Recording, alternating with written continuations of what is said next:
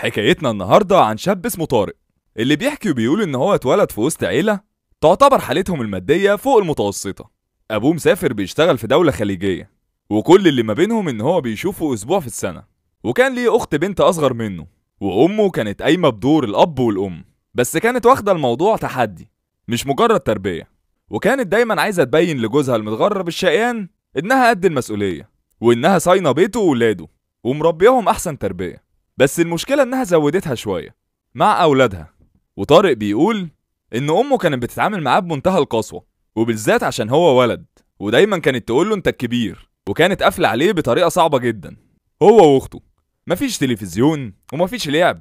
المذاكرة طول الوقت حتى لما طارق كان بيشوف أصحابه في المدرسة بيحكوا عن خروجاتهم ولعبهم كان بيستغرب جدا. ولما كان بيقول لأمه كانت بتقول له دي عيال فشلة وعيال بايظة. أنتوا حاجة تانية. كانت دايما بتكرر الجملة دي لحد ما بقتش فاهم حاجة تانية دي معناها إيه حاجة حلوة ولا حاجة وحشة. وكبر طارق هو وأخته بس طلعوا انطوائيين جدا بسبب المعاملة الصارمة اللي أمهم كانت بتعاملها لهم. ودخل ثانوية عامة ولقى أمه زودت العيار جدا أكتر من الأول لدرجة إنها كانت بتخليه ما ينامش علشان يذاكر ولو لقيته سرحان تنزل عليه ضرب وإهانة وبتقول له اتقي ربنا فينا عايز أشوفك دكتور. لدرجة إن طارق بيقول إن هو جاب مجموع كبير في الثانوية العامة. فعلا دخل كلية طب بس طلع بأمراض نفسية أكبر من مجموعه. ووصل بيه الموضوع إنه كان بيعمل حمام على نفسه وهو نايم. ووصل بيه الموضوع إن هو كان بيعمل حمام على نفسه وهو في السن ده. وأمه ما كانش بيهمها أي حاجة غير إنها دخلت ابنها كلية الطب. وحست إنها كده ماشية صح. وما همهاش شخصية طارق اللي حرفيا اتدمرت. حتى لما دخل الكلية كان عنده رهاب اجتماعي. كل اللي يشوفه يعرف إن هو إنسان مش طبيعي. ما بيعرفش يتكلم مع حد ولا ليه أي صحاب. وبالنسبة ليه العالم كله هو عبارة عن أمه وبس. وكان طبعا طارق هو مادة السخرية والتنمر ما بين زمايله. وكان مش ملاحق ما بين قسوه أمه وتنمر زمايله في الكلية. طارق بيقول إنه لحد ما وصل سنة تانية ما كانش ليه أي صحاب. وحتى ما كانش يعرف يروح أي مكان لوحده. لازم أمه اللي توديه. مرة واتنين لحد ما يعرف يروح. حتى الشارع ما كانش بيعرف يعديه.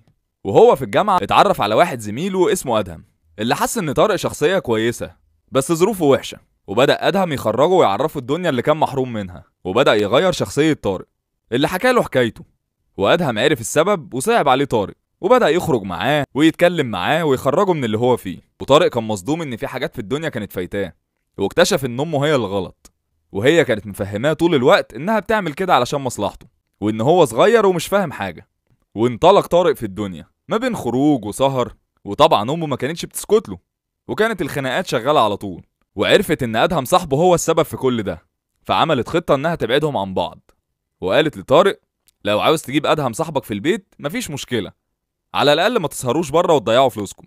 ووافق طارق وهو فرحان جدا وفاكر إن أمه أخيرا اتغيرت وراح أدهم بيت طارق لأول مرة وقعد معاه وبقى بيروح له على طول.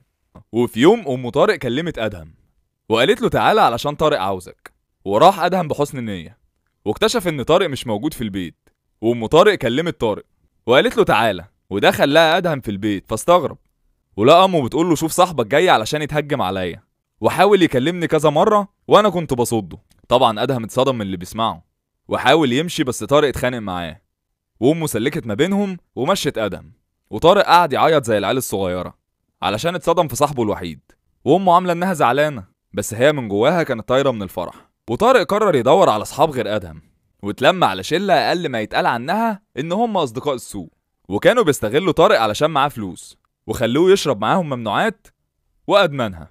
وبقى كل يوم سهر وشرب وفي يوم قابل أدهم صاحبه اللي فهمه إن هو ملوش علاقة باللي حصل وإن أمه كانت بتكذب عليه. ولما طارق عرف قرر يشرب على الآخر ويروح لأمه واتخانق معاها وواجهها باللي أدهم قالهوله واعترفت إنها عملت كده علشان خايفة عليه.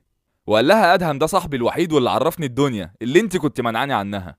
وقال لها أنا دلوقتي بقيت مدمن ومريض نفسي بسببك وحياتي اتدمرت. كل ده علشان تثبتي إن أنت الناجحة اللي مفيش منك.